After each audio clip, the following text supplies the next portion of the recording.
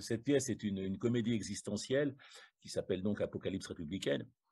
Avec le titre qu'elle se tartine, on pourrait imaginer qu'il s'agit d'une pièce politique euh, qui tire à boulet rouge sur les uns, les unes et tous les autres. Euh, non, non, non, non. C'est une pièce euh, que j'ai voulu philosophique, humaniste.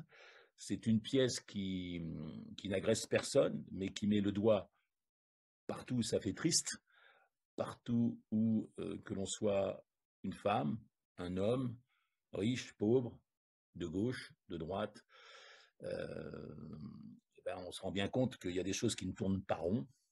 On se rend bien compte qu'après deux bombes atomiques, euh, des crises mondiales, des guerres, des révolutions, le 21e siècle ne correspond pas aux attentes de, tout le monde. Donc c'est de cela dont parle cette pièce.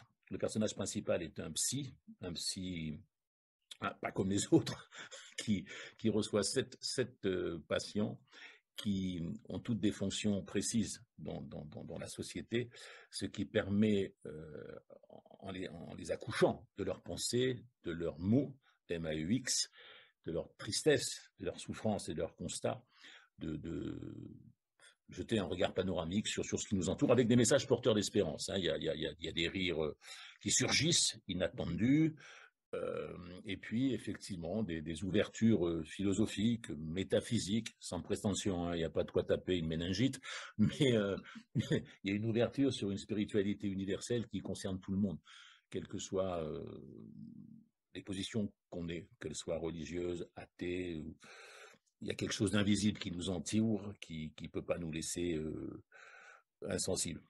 Je, pour finir, je cite cette phrase de Voltaire qui, qui dit que l'univers m'embarrasse, car il ne peut pas imaginer une seule seconde que cette horloge, cette formidable horloge de l'univers, n'est pas un grand horloger pour régler tout cela. J'ai dit, monsieur Casaban.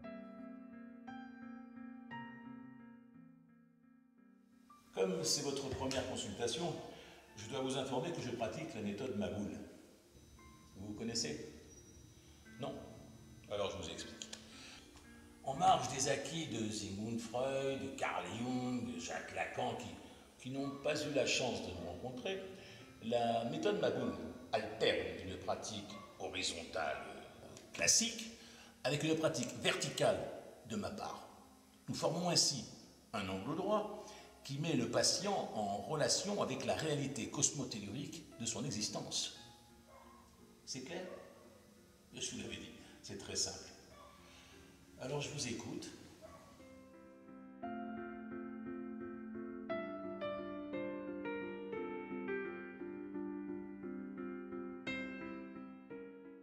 Oui, oui, oui, j'ai- bien compris que votre fin n'était pas facile. Cela ne veut pas vous consoler, mais euh, elle n'est pas la seule. Ah bah oui. Depuis le manifeste des 343 salopes, la parité, le mouvement MeToo, euh, les femmes ont beaucoup changé. Et les hommes euh, traversent une période euh, bah, très difficile. hein.